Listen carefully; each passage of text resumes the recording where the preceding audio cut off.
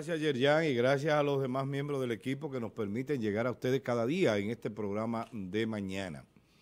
Mire, hay un dato curioso en la prensa nacional del día de hoy, y es que el Tribunal Superior Electoral, eh, no, el TCA, Tribunal Superior Administrativo, en un recurso de amparo ordena a la Procuraduría General de la República levantar una alerta migratoria que había en contra de un señor desde el año 2002.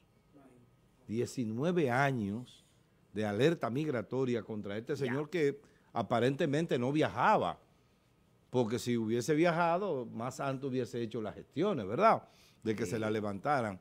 Pero oigan por qué la alerta migratoria estaba establecida, porque su nombre era parecido a alguien que estaba siendo buscado. Y para evitar una confusión, entonces le pusieron también una letra.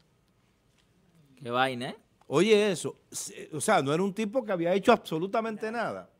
No estaba siendo investigado por la Procuraduría, no, no había tenido antecedentes penales. Bueno, una persona limpia en términos de sus antecedentes.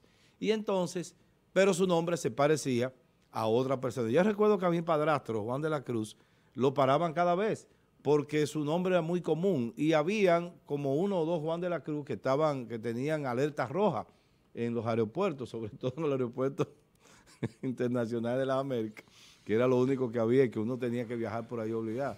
Y eso era cada rato lo metían para el cuartico, como dice la gente. Entonces, e, esa es una situación. Y eso me llega a colación a mí el tema de lo que pasó en la República Dominicana con el ex Procurador General de la República, Jan Alain Rodríguez. Y el análisis que he hecho, incluso escribí un artículo que no he publicado todavía, y lo voy a hacer en los próximos días probablemente, sobre mi propuesta, mi planteamiento con relación a este tema. Mire, en la investigación penal hay dos temas, hay dos momentos en la fase preliminar.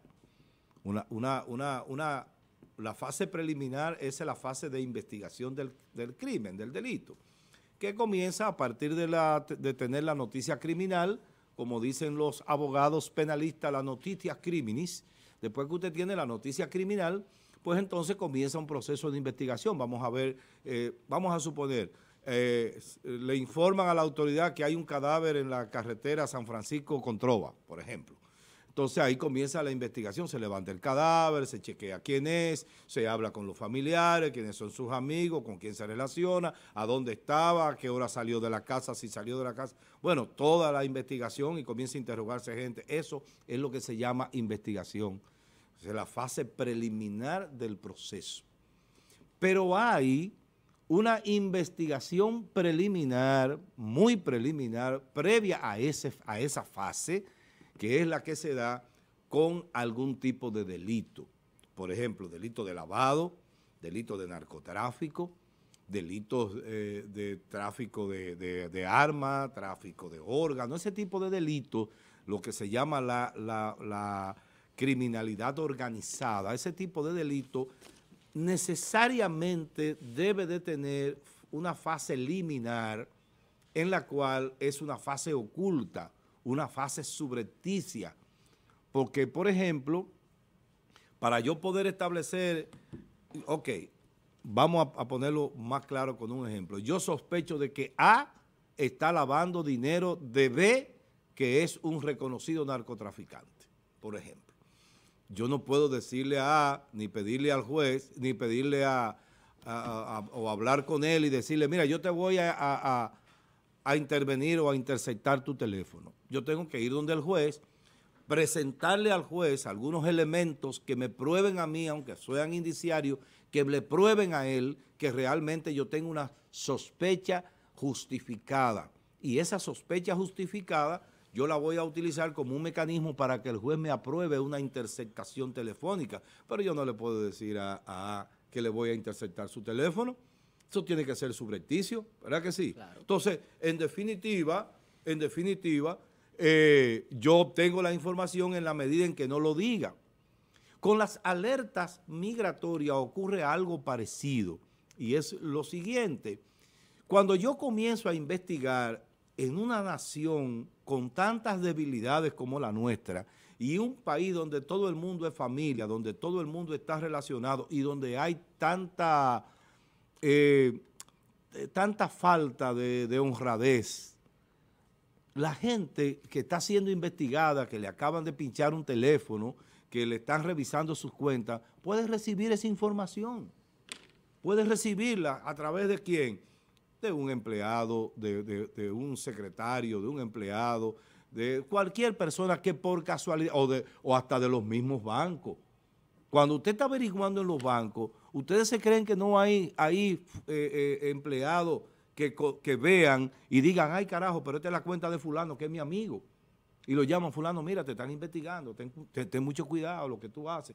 Eso pasa, eso pasa. ¿Por qué? Porque hay un problema humano que tiene que ver con la relación, o sea, se trata de fulano, que es como mi hermano, un hombre con el que yo he, eh, salido muchas veces y ha pagado muchas veces la cuenta de, la comida que no hemos comido, para poner un ejemplo, o quien que yo tengo una amistad desde muchacho y le doy esa información. Entonces esa persona recoge todo lo que pueda y se va del país. ¿Ahí funcionarían las alertas migratorias? Claro que sí, claro que sí. Yo pienso que quitar definitivamente las alertas migratorias no es estratégico ni prudente. ¿Qué es lo que hay que hacer? Lo que hay que hacer es pedirle al juez que las autorice, ¿ok? Que las autorice. Y la autorice por un tiempo determinado porque no le puede poner una, una, alerta migratoria por toda la vida. Así como la interceptación telefónica, que es todavía mucho más invasiva porque la interceptación telefónica invade tu privacidad y ahí salen a relucir cosas que no tienen nada que ver con la investigación, pero que tú tampoco quieres que se aireen. Incluso la ley le prohíbe, el código le prohíbe al, al, técnico que recibe la información y que redacta la transcripción de lo que escuchó por el teléfono, que lo que no esté relacionado con el caso no puede aparecer ahí, so pena de que eso pierda valor jurídico. Porque ven acá, si usted está en medio de un brejete con una mujer casada, suponte tú, esa información no tiene nada que ver con lo que te están investigando y tú no la puedes airear. Entonces, las alertas migratorias yo creo que es un error.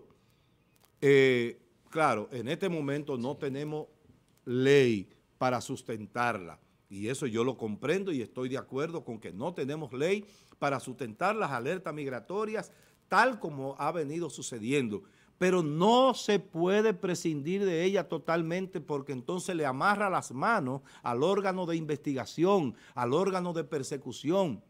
Si en medio de una investigación de una persona, de esa investigación preliminar que se hace de manera subrepticia, oculta, tratando de buscar elementos, datos e información para poder proceder a perseguirlo penalmente en un futuro cercano, si esa persona se entera, se va del país y no hay forma de detenerlo en el aeropuerto.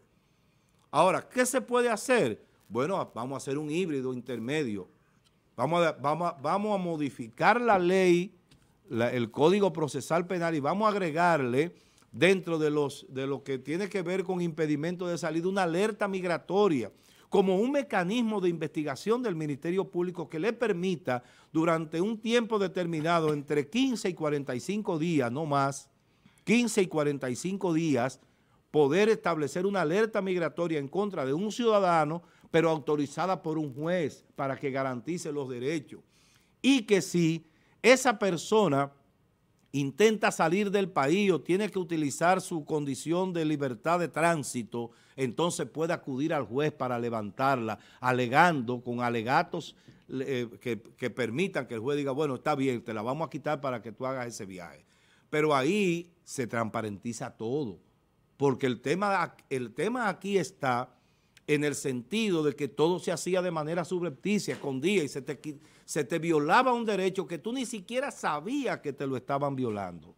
Y miren, por ejemplo, lo que pasó con ese señor del día de hoy, de la, eh, información que está en el listín diario, en que el Tribunal Superior eh, Administrativo, el TCA, dicta una resolución, dicta una sentencia en la cual, juzgando un amparo, ordena a la Procuraduría levantar una alerta migratoria del 2002. 19 años tenía esa persona con esa alerta migratoria que no podía salir del país. Y eso es señal de que se está jugando con ese derecho. Ahora, también hay que pensar, hay que hacer un equilibrio y pensar que el órgano de persecución, el Ministerio Público, tiene que tener herramientas para investigar, porque si no, entonces le vamos a amarrar las manos al Ministerio Público y no debe ser. Lo que quiere decir que yo lo que propongo es que las alertas migratorias se mantengan con una base legal, jurídica, así como, como las interceptaciones, que se le dé un plazo al Ministerio Público entre 15 y 45 días para mantenerla, porque en ese tiempo ya él va a conseguir los elementos suficientes para llevar a una medida de coerción, y si no lo encuentra, porque no lo hay, punto. Exacto. Ok, entonces yo pienso que es una manera de equilibrar la situación. Por eso este, creo que a veces eh, eh, dicen que todo obra para bien. Eh, no hay mal que por bien no venga, dicen la gente.